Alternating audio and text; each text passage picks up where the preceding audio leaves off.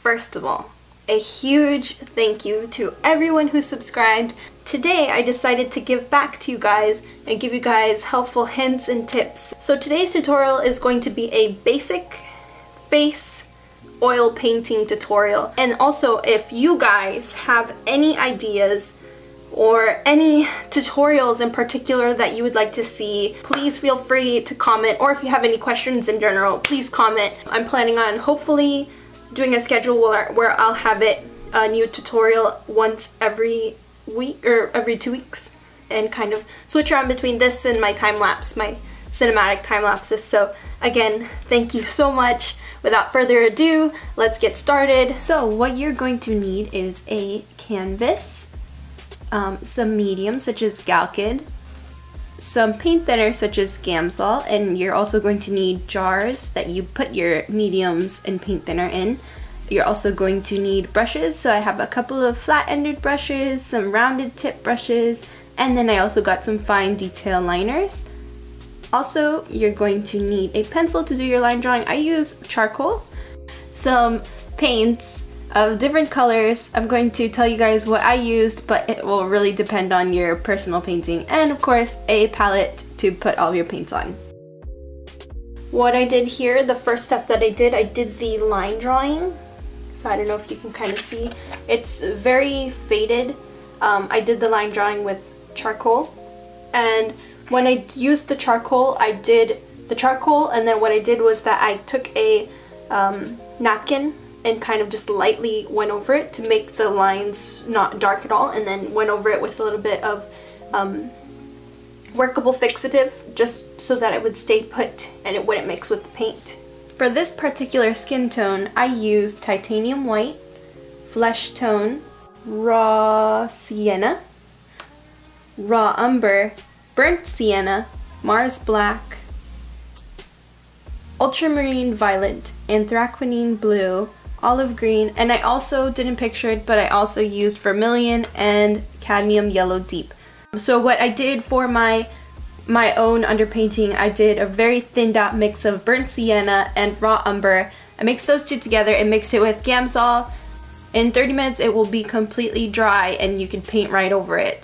So First, you're going to build your initial layer. So basically, you're going to look at where the darkest and the lightest areas are and just kind of put in your darkest values and your lightest and then blend it with your medium tones. Of course, it's not going to be accurate and 100% color correct the first time around. It will take a little bit of working around adding a few different colors before you get that skin tone that really looks realistic. Then I worked on the eyes. So here on the eyes, I just kind of started looking at the shape. I found out that I did a, something a little bit wrong, so I went back in, erased it um, with a little q-tip, and then just went right over it and continued painting it, and then just work on it. Look at the colors, how big is the eye, what are the shapes relative to each other, and just adjust it as you go along. There are shadows in the eye. The eyes aren't pure white. To make it more realistic, you want to make sure you add those shadows and really look at your reference picture and see where the skin folds are and what kind of shadows are cast and what are the colors of the shadows cast. Values are highly important when it comes to painting the skin. In fact, that's probably one of the trickiest parts is learning how to add value and color at the same time. So, so as I was painting, I was also dipping my brush in a little tiny bit of the Gamsol Galkyd mix and that just thins out the paint. So you kind of learn how much of it you need to make it fluid but not too runny. So just experiment with that as you go along.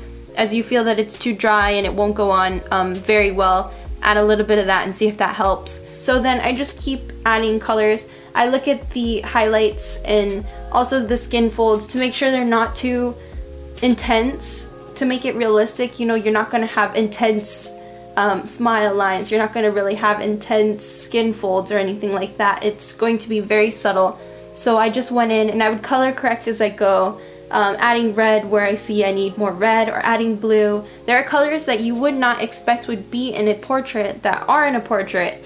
Keep in mind actually that you your painting is going to look like a thousand different people before it actually looks like the person that you're trying to paint. So don't get stressed out. I know it could be a little, I still personally get stressed out sometimes, but just take it easy, enjoy it, and just know that as long as you have your proportions right, there's nothing to be worried about. You got everything where it needs to be. You probably just have to render it out a little more and just correct a few little tiny things before it'll really look like the person that you're trying to paint. So I just like to take the time to give a huge thanks to Realm XX. She let me use her picture as a painting, so a big thank you to that. She's an amazing artist. If you haven't checked out her work, you should definitely check it out. It's in the description. I put her Instagram page so you can check that out there.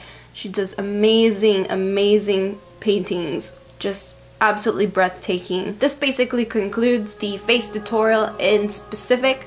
So now I'm just going into um, to do the additional things that I like to do in my painting. So here I just kind of did the hair out and then I'm also going to do like a crown um, because she's an artist. I did add a few little interesting things. So if you guys can see like the little palette, I did like a crown with the palette and then some paintbrushes kind of just like sticking out. Now I'm going to give you guys a couple of tips just to keep in mind. Um, make sure that your reference picture is really high resolution. That will help so much. There will be a big difference once you start using better pictures. Um, also use a picture with highlights and shadows, nothing too washed out like the video in the beginning that I, I did realize that I recorded I looked a little bit too washed out. Um, don't be afraid to trace or project lines. I grew up tracing and projecting and it honestly helped me. I think it helps muscle memory. Of course, every artist has their own opinion. You don't necessarily have to. If you want to practice line drawing um, by observation, you could definitely do that. But don't be afraid to do that. It's not cheating. And it takes a lot of practice. I've been painting people four years now and I still have a lot to learn so just make sure that you just always take it easy and think of every painting as an improvement from the last time and an opportunity to learn. Also keep in mind the fat over lean rule. I did all of this face layer all in one layer so just one sitting but you can do it in layers. I can actually demonstrate that in another tutorial if you guys are interested. Finally, the last piece of advice that I give you is that you slow down and really take your time. This piece took me the entire day just to do the face alone. I have all of my social media on my main channel page. You should be able to find it on there. And don't forget to check out the links in the description. Also, if you enjoyed this video, please don't forget to like and subscribe. It would mean the world to me. And finally, I can't wait to see you guys again. Bye.